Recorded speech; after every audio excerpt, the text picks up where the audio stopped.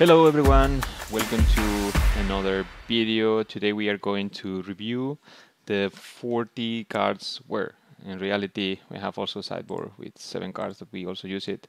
The 40 cards that we um, used in the PTQ or CQ Classic qualifier in Copenhagen that uh, was granting a spot to Bulgaria, to Sofia uh, Regional Pro Tour, and uh, was granting that uh, spot for the whole top 8.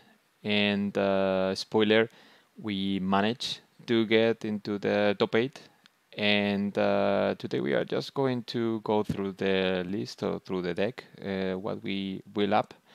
And we are going to comment some details on some of the cards and why they were important during the weekend. And also how we use those uh, sideboard cards that we have uh, here uh, in order to get to the top 8. So let's start for the beginning. Uh, we have the converted mana cost 1 uh, in the form of uh, witness protection. As you can see, some some of the cards I I don't have them in arena, and the reason why is that I have not played limited of this format more than one sealed when they released, and uh, when I go to the local shop, they sometimes give me codes for boosters, so I open boosters and I I got some of the cards, but I'm really not familiar to uh, this format. So this event uh, had kind of the feeling of a pre-release, although of course I, I knew some of the best cards uh, because they are used in, in constructed formats formats nowadays, and some of the others because I just read them uh, when I open a booster, uh, price booster or things like that. But I was not really deep into uh, the format, and and it added an additional layer of complexity uh, to every single round. So coming back to, to the deck, uh, I think I had a really easy pool uh, to build because it was so marked that Esper uh, was the the combination of colors that I have to be to. I think this is called uh, this is Plains Island Swamp. Yeah, this is called Obscura. The this combination in in this collection in New Capenna, and I think it was so marked that this was the the way to go. Uh, I have also some good red cars. I was thinking to do splash because I have a lot of removals in in red, but I think it was not really needed. So I, I tried to stay to this combination of of colors. So starting with uh, this with witness protection. This card was uh, really shining during the weekend, um, especially in the latest rounds. At the beginning of the tournament, it felt really weak. I I play against a lot of decks with um, tokens and also decks with uh, vanilla creatures, and this card was just transforming them into a one-one. So it was not that relevant that they lose the abilities. But the more I was advancing, in the championships, the more I was finding other decks that were uh, really needing this type of answer. Uh, for example, one of the cards I enchanted is this uh, multicolor card that uh, creates dog uh, tokens, like a 3-1 with vigilance or a 2-1 with, with haste. That card was really important to, to get it uh, um, block or, or completely useless and another card that was also very important to uh, silence was uh, Ledger Shredder that was in the in the win and in. I think uh, the opponent had a very quick deck with a lot of uh, turns where they could really do two two drops in one in one turn, so play two cards, and the Ledger Shredder then would let them filter all the lands and um, really continue the flow of uh, small creatures and uh, stopping that card was super important for getting into the top. Um, what we were doing at the beginning of the tournament in the in the first rounds, when I realized like against vanilla creatures that was not that good, I was using a combat trick uh, that was good to try to make some block tricks, or if they will do a double blocking, this card was good and gaining me some lives because the first rounds the decks were really aggro. And uh, also this card, I was uh, using it in some of the rounds instead of the witness protection, just to bounce one of my of my creatures and, and create some additional uh, value. And also I was using kill shot uh, in the first rounds instead of the witness. Uh, I preferred to have a, an instant response to an attacking creature. So that was basically basically it for the converted mana cost one. Then in the converted mana cost two, I think this creature was quite interesting. Um, it didn't really become a 3-3 many times with uh, lifelink, but when it did, it was very relevant. But uh, it had a very nice uh, synergy with a card that really impressed me a lot. That was Dig Up the Body. I've never played this card before, and this format was extremely good because not only was making this card better, but also was making this card absolutely amazing.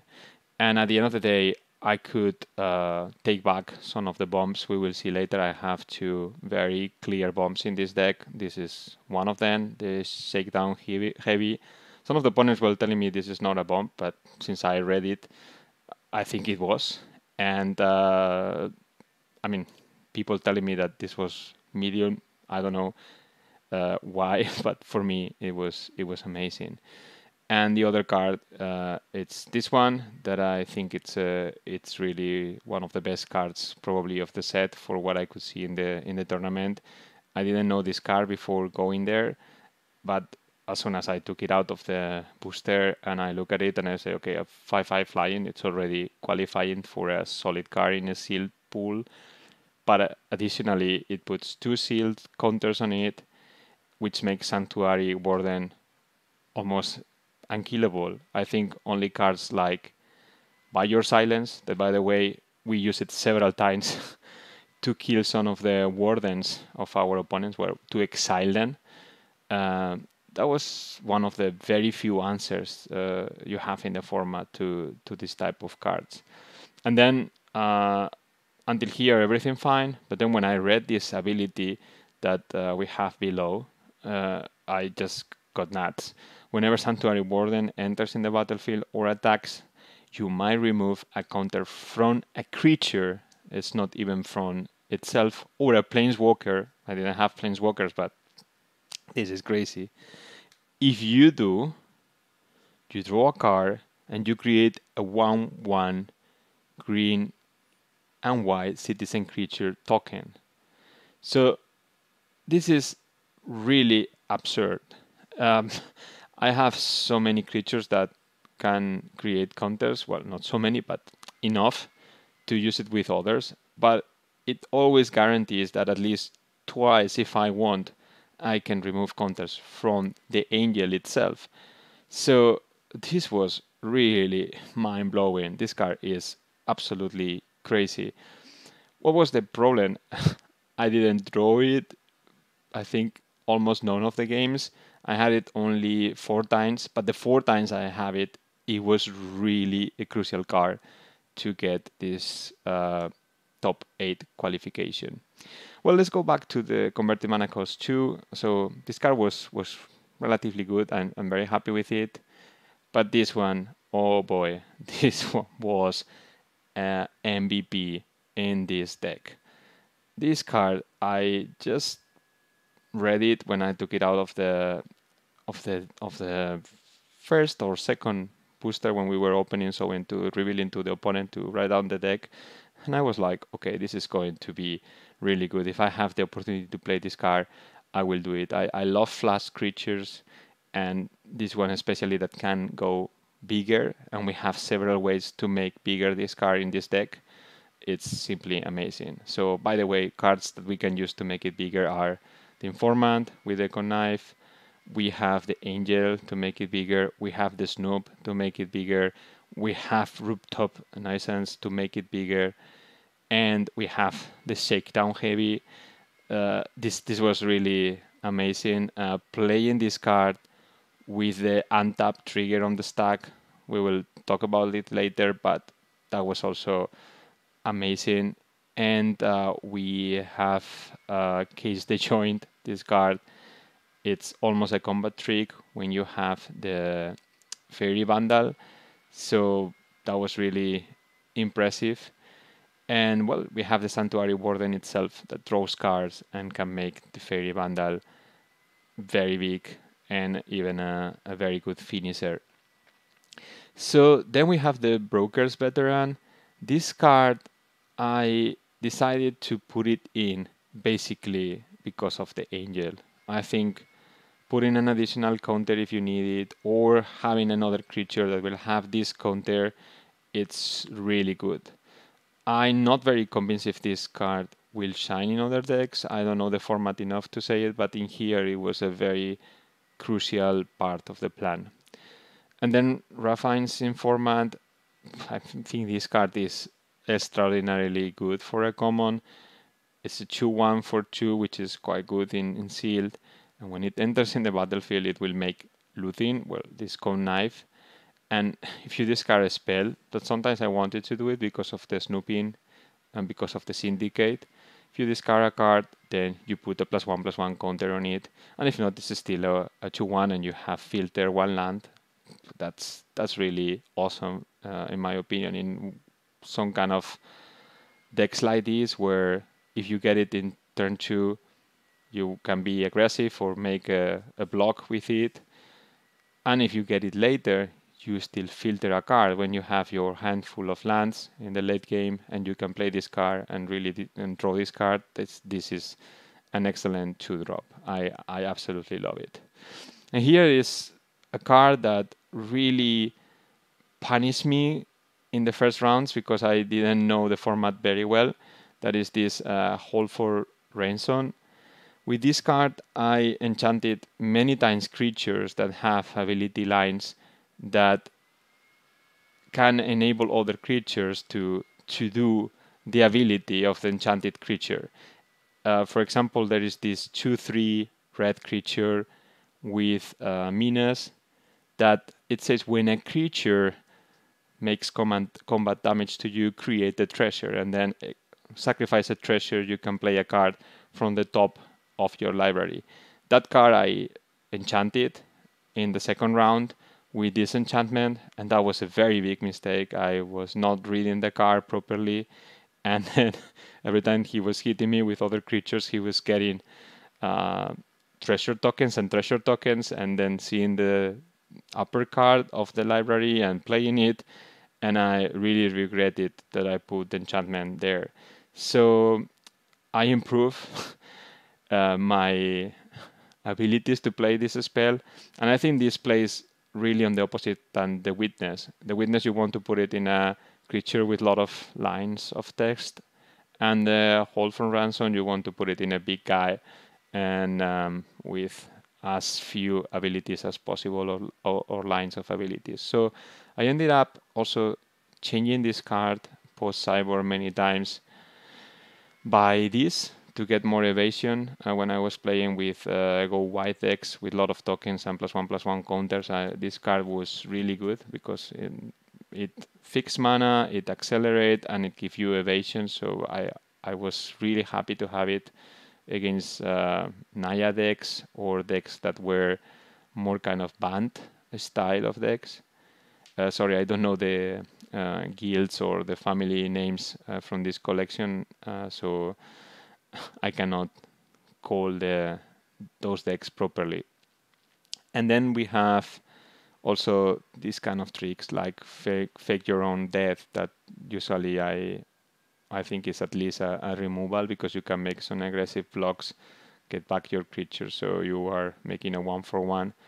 So it can act as a pseudo removal. And kill shot was the other card I was usually changing for hold for ransom this card was very good up to the middle of the tournament. So when we were playing with against fast decks, but when we moved to play against value decks, uh, this card was becoming worse and worse, and I was sideboarding it in less than at the beginning of the tournament.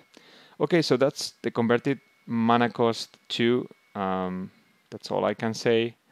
And then we go with the converted mana cost three. Here we have a mind-blowing card. Uh, this card is so good. I have never seen it before, And when I read it, I was like, oh man, if I play against uh, any kind of token deck, this is going to be very good. But it goes really beyond that. It makes blocking impossible. If they have seen this card in game one, they will be so careful at combat all the time. And the ability of Blitz, I didn't realize how good it is. It's really amazing. And more in this kind of uh, grindy decks, you just make a crazy attack, you enable the ability, and you draw a card. Unbelievable. And if you have in the late game cards like this, Rooftop Nuisance, or you have cards like this, this card was a powerhouse. I I'm absolutely in love with this card. Then we have Murder. This is a, a classic uh, for people like me that we have been playing uh, limited since forever. I think this this kind of card it's absolutely a top card you want in your deck. One of the best removals uh, ever for limited formats. I was very happy to have one copy. It allows you to kill almost anything in this format, except the angel and some other creatures like that. And then we come here to one of the keys for, for our victory. Uh, this 6-4, it's true that the opponent decides when they get damaged and when they draw a card. But come on, in a deck with so many removals and way to, ways to interact, at the end this card it's going to stay alone in the battlefield or if they do a double block is so dangerous for them because they can lose one of the creatures. And if they allow you to draw you will draw more removals. You will keep on guaranteeing that this card stays there. So i think this deck was really the home for this card. And uh, i think this was a really amazing card. It gave me so many games against also the token decks because it was so difficult for them to block this uh, car effectively and they were getting damaged at the beginning thinking okay maybe later when i have uh, broader bo board and i have a lot of creatures with plus one plus one counters it will be easier for me to deal with this card but that point never never came because i the more i was uh, advancing in the game then they switched to letting me draw and that was uh, gg's so really really good card in my opinion. Opponents were disagreeing. They were saying that this card is medium. I don't know, maybe in some other decks, but here was absolutely mind blowing. Uh, dig up the body. This card was my favorite, I will say, from the whole deck. Uh, it gives me so much value in the late game. Uh, you could uh, use the casualty in creatures like this, or like this, or like the Psionic Snoop and even the angel, we will go later there, or the Nightclubber. And you were getting the Nightclubber again, because with the casualty ability, the creature you sacrifice is already in the grave when resolves the second uh, spell. And yeah, it was almost like a tutor for me, and, and, and it was creating so much advantage. And well, we have this one. This one also was really good. I cast it many times without the casualty, um, just because I, I needed one additional card, uh, or I wanted to make this bigger and get some more damage and some tempo. I think this is an excellent tempo card. I love cards that make creatures tap for one turn or more, but this one draws a card and if you use the casualty with the same creatures that you will use the dig up the body, you will get two cards and two creatures tap for two turns. I mean, this was enabling me to make so many um, lethal attacks or to gain time until I get more removals or I draw more cards when I was under pressure. Amazing card now we come to maybe the, the weakest card on the game, but I think this card was playing very similar to Killshot. It was extraordinarily good in the first rounds, where allowed me to stop very aggressive decks and really put there a card that they can basically not pass and killing some some tokens sometimes when it's a, a one four. So this car was very good and allowed me to survive these uh, early rounds. And later when I moved to the higher tables where people was having like three to five bombs per deck, this car felt ridiculously bad to the point that maybe a, a basic land would have been better than this. Uh, some friends later suggested that this could have been a better solution, or even I was thinking that maybe the, the kill shot could be in this spot in the main deck. But um, I don't regret this decision. Um, it was at least drawing many cards sometimes to make the faerie vandal bigger, and it was holding uh, and and helping to gain some time until I can prepare my game plan. And then we come to other card that was extraordinarily good. Uh, flying 2 1 4 3 it's always okay not super good but okay. But when it comes into the battlefield it draws a card wow i love that. And it gains one life. That was super relevant in many games. I reach one or two lives in so many games and then i have to hold this card was really doing so much work. I think this is cube material. Uh, if you have a pauper cube, think very seriously to, to include this card. It's really amazing. Then we move to the converted mana cost 4. Uh, we have Kesa. This card is almost like a rare for me, or at least in this uh, deck it felt like that. I kill some opponents with it, especially in high tables where the games were getting very grindy and very long. Uh, in the win and in the last game, it was a lethal uh, with this uh, card. Uh, they were at three lives, and we had the Spara's headquarters cycling three in the hand, and we drew this, so we could do three damage and and go to the top four. So this card, it's simply a bomb in my opinion. It's it's like a rare. I I'm very pleased to have this card in in this deck. Without it, I don't think I would have reached the the final. It was more important in this championship than than the angel, I will say, and uh, maybe one one or two steps uh, below the, the Shakedown Heavy and the Nightclubber. But really good card. Then we moved to the Syndicate Infiltrator. Um, there was some games where this card was medium, but some games where it was very good. I had, I think it was in round six or seven, the opponent play um, Elspeth. Uh, I've never seen the that Elspeth before, and when I read it, I felt like, okay, I lose here. This this card is unbeatable. And he started to give flying to his creatures to to try to keep the Elspeth alive. But this guy was a 5-5 uh, and uh, was attacking every turn, so he needs to champ block if he wants to keep the the Elspeth alive. And he ended up losing the Elspeth because uh, a 5-5 flying on the sky if you don't find removal it doesn't matter you have an Elspeth putting plus one plus one counters in your creatures um, and giving flying or first strike lifelink he, he will make it at the end of the day so a very good card and the more I advance in the championship this um, card was also improving I think I was finding more decks with white. I think white was very strong in this championship, and especially multicolor cards, very good multicolor cards that were white.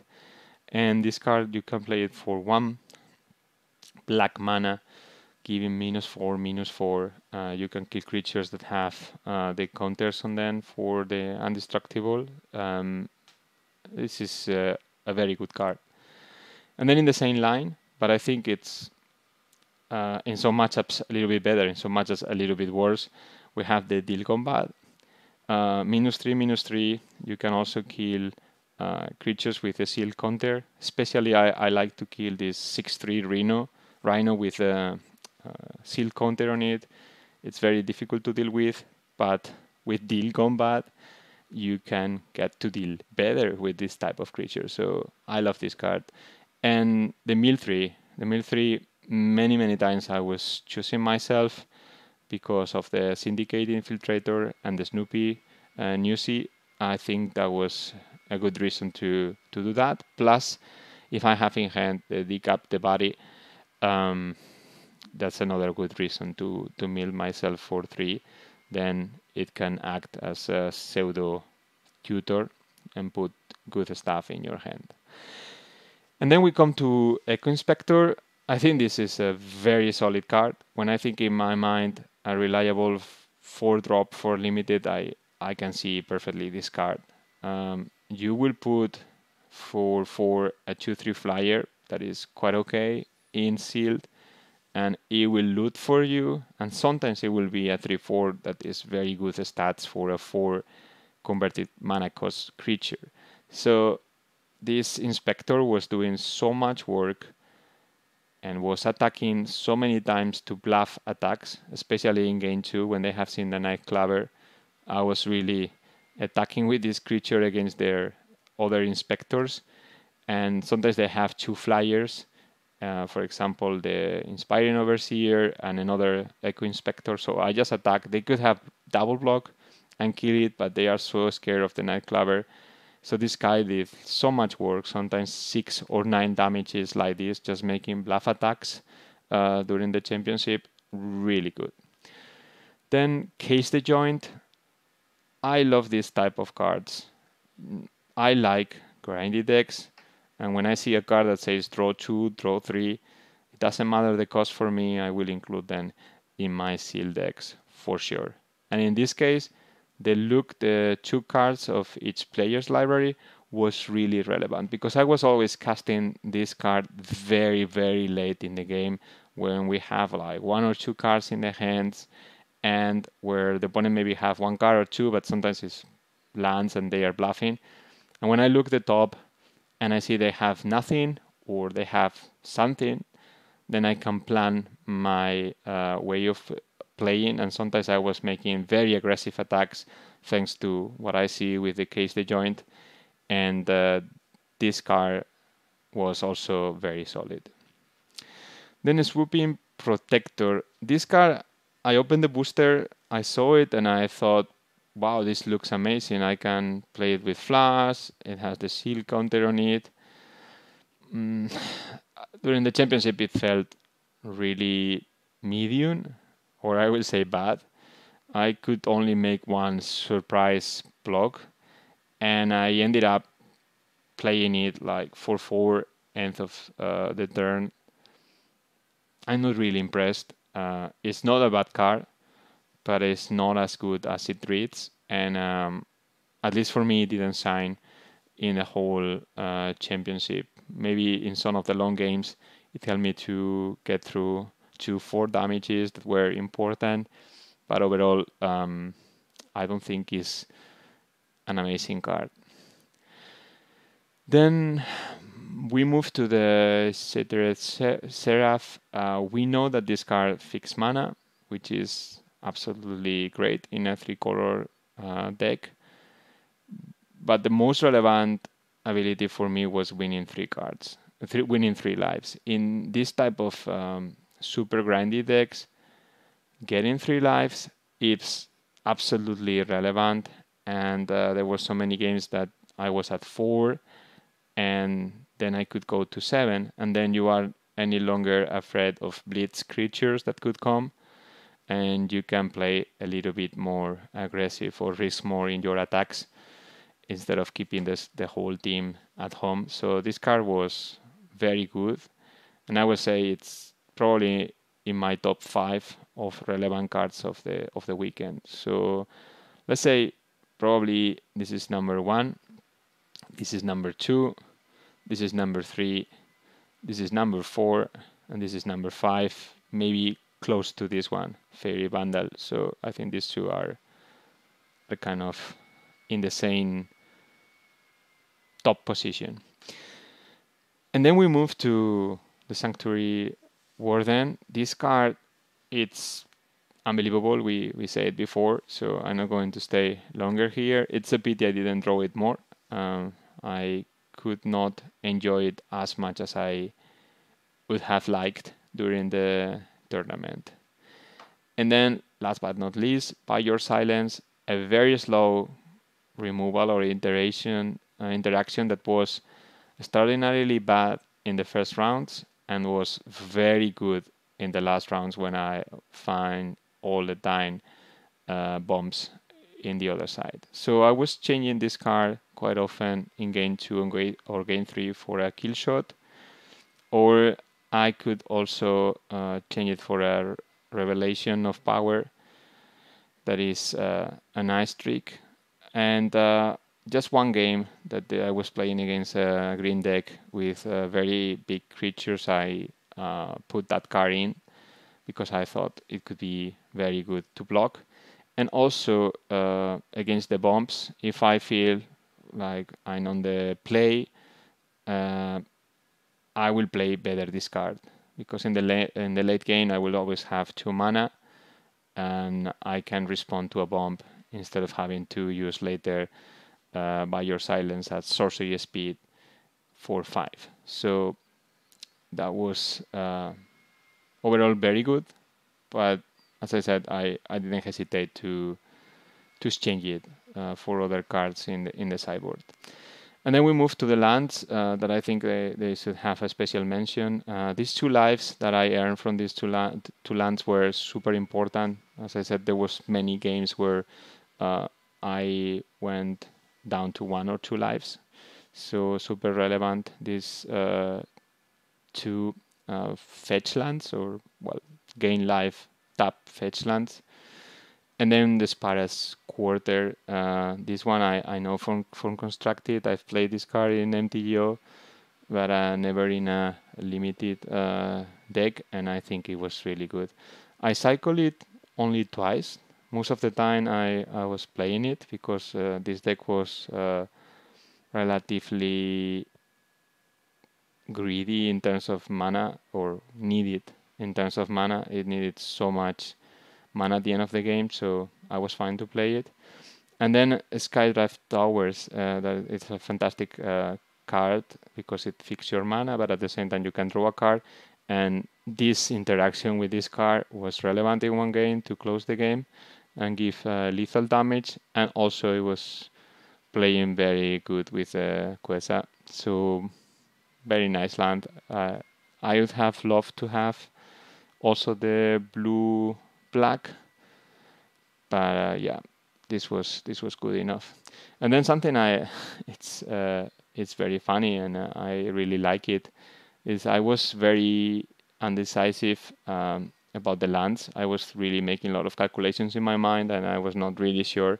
And at the end I decided to do six, four, and three. And now when I was creating this deck here in Arena, the program was suggesting me this uh, proportion of the lands uh, so that made me extraordinarily proud that I could really put these numbers right because it's not easy when you have such a deck to really decide to go high on a on a color or on a land. Uh, usually you tend to say, okay, I'll put five, five, five, but really saying three, four, and six, uh, it's it's really difficult and especially because of this. Uh, if I look my my two drops, all of them are uh, white or blue, except one that is uh, blue black. So you tend to think, okay, I really want uh, white or blue very early, but you have all this fixing, and at the end of the day, I was not really that dependent on on the early two drops. It was more the three drops and the four drops that I really want to play every game. And the fact that this card is also a one drop was very important to really use it as an early removal against uh, white creatures. And at the end of the day, you also have this card that you might use it as a two drop for the fixing. So yeah, this was the, the right combination of, of lands. And well, uh, I also had this card in my sideboard. I never use it. Uh, bonus safety. Mm, I don't think it's a good card. But I was thinking, okay, if I find a deck uh, very intensive in removal, maybe I can use it as a kind of combat trick. And um, the rest of the cards, as we commented, we we used them all. So overall, we did uh, six one in the Swiss with this deck. There was a point of the championship where we were two one, and uh, I didn't know the cards of the format very well. I was kind of playing in the dark, and at that moment I felt like very weak and without any option. So sometimes the mental power is very important that you keep uh, positive. And at that point, I said, okay, uh, let's do this. Let's let's go to limited resources podcast. I opened that podcast and I started to listen to the review of the set from Luis Scott Vargas and uh, Marshall, and just try to uh, listen all the cards and try to get uh, what they do and try to refresh the cards I have seen during the tournament and this was like uh, medicine. This was so therapeutic. It uh, empowered me. It made me believe again in me, in my deck, and just focus on playing and being very attentive. I also played super fast for the parts of the deck I really know well. Like for example, when I was searching for uh, lands in the grave, uh, in the grave in the in the library, or when I decide a, a play, I tap mana very fast and I attack very fast to gain some time for thinking when really the spot is relevant. And I think that was also the secret uh, that allowed me to, besides having to read many cards and besides having to think very complicated spots, still having the time to not have any draw during the championship, except the last round where I made an intention, intentional draw um, because I thought that being third on the standings, I was locked for the top eight if I make the, that draw. But besides that round, uh, we didn't draw any round, and we end up very early in some of them, like with uh, 20 or 30 minutes in the clock, especially in the last rounds when I knew already very well the deck, and I knew also more or less the major bombs or the better cards of the format then the, the games get more fluid. So it's the first time I, I make it to a Pro Tour like or Pro Tour level uh, tournament. It has been a tough way to hear, and this I, I commend that for people that are also following that dream. I've lost many times win and in for the Pro Tour. The most bitter ones were uh, win an in for a top eight in a in a GP. I think it was in one of the last Ravnica sets. Uh, I don't remember right now. I think it was 2018. That was really really tough when I lost that uh, win and in. And uh, also I remember uh, one uh, PTQ of a Sunday in I think it was in Kaladesh Standard where I had a very good uh, Rakdos deck and I get to the final and I, I lose against a mono green with the Ghalta, with the 12, 12 uh, dinosaur that uh, destroyed me. That was very bitter because um, some bad decisions made me lose that game and uh, it was so close. And then, well, I had also the I remember very clear the MOCS when I started to uh, play competitive, uh, a little bit more serious back in 2017. I think it was uh, there was a MOCS uh, showcase. It was the limited format of Ixalan. I also made it to the uh, top eight in the Magic Online, and and I also lost the. I think it was the semi-final in that in that case, but it was so close, and it felt um, really bad. So finally we are there, and there were many other uh, tournaments where we also were so close. And at the end, it, it doesn't matter. You just keep on trying, and the important thing is the passion for the game and uh, having a good time on the way. Like I think this this week that I started to do all these videos, and I have some time to reflect on on my playing and uh, to talk a little bit more with with you guys and with myself and myself and listen uh, to me uh, sometimes again, see my my own uh, plays and my own videos and see where I uh, punted and where I did it right. This also gives you confidence and uh, this also make you more self-aware and self-secure. And at the end, it doesn't matter if you uh, win or if you lose, as long as you notice the progress and you notice that you are getting better every day. And uh, at least lately, I'm I'm noticing that, and uh, it's great to have this result that uh, companies that progress. But I feel also still I have so much gap to keep on improving, and I'm really excited to play the Pro Tour and, and find good players to possibly beat and to partner with. That's the most exciting part. I, I'm really looking forward to participate in a in a Pro Tour house, uh, see the whole testing process, and learn from from the best players in in the world. That's that's a dream come true now. So we stop here the video for today. Uh, thanks for listening. I wanted to do this uh, small report for those that you like uh, limited as, as I do and, and really passionate and even I don't know very well this uh, format and maybe what I said in this video is probably obvious for you if you play a lot this format but I wanted to give you my my perspective uh, of this pseudo pre-release that went pretty good for me. Take good care and see you in the next video. Bye bye.